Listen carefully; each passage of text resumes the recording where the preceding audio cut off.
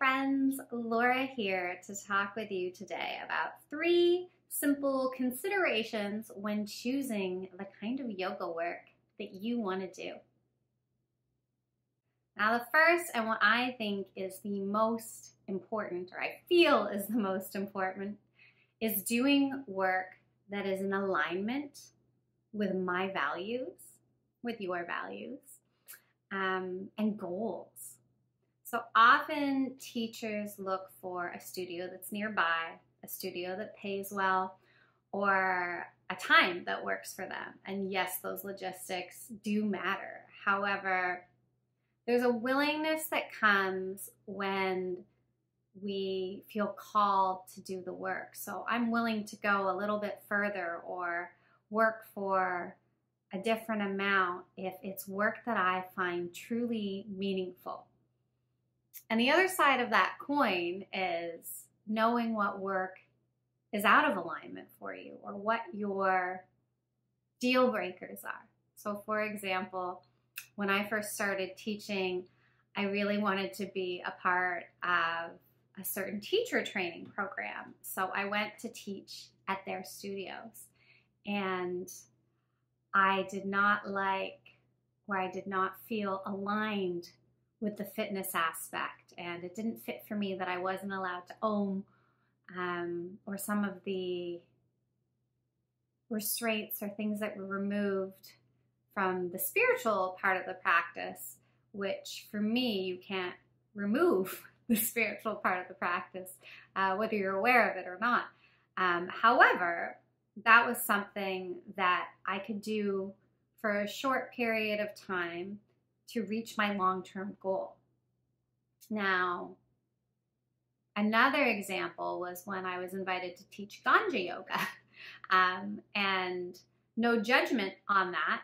However, for me, that's absolutely out of alignment with what I do. I worked intensely with people in recovery.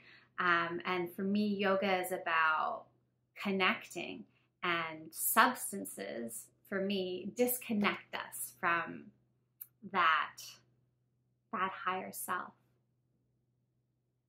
So that's number one how to choose work looking at if it's in alignment with you.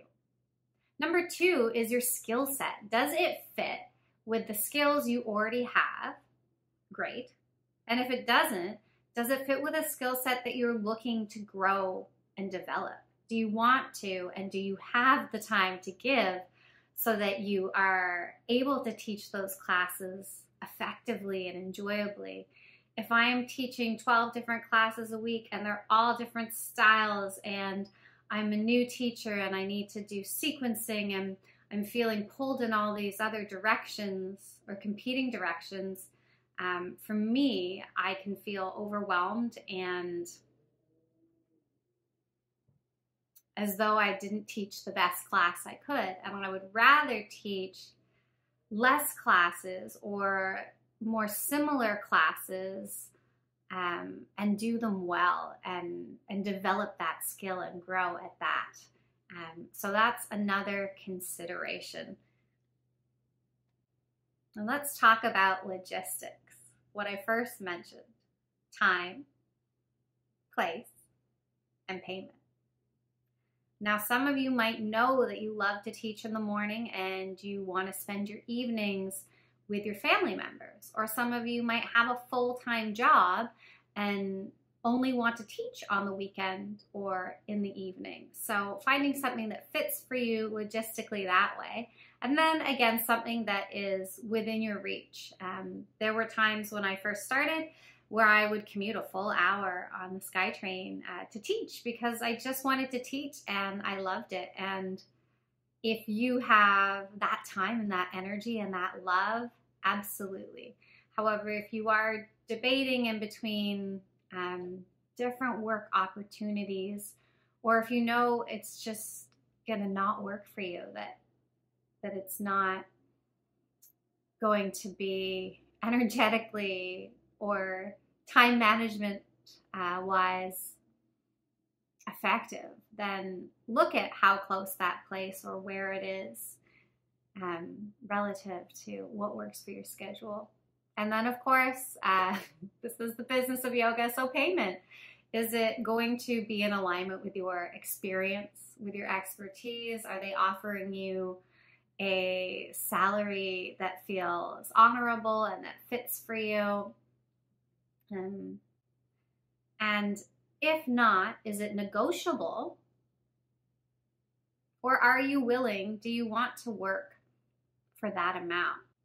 I don't discourage you from being flexible. However, I also encourage you to honor your worth. If you know that your minimum is a certain amount per hour, then absolutely honor your minimum and let them know that. If the work is not meant to be for you, that's okay. And the work that you are meant to find will come your way.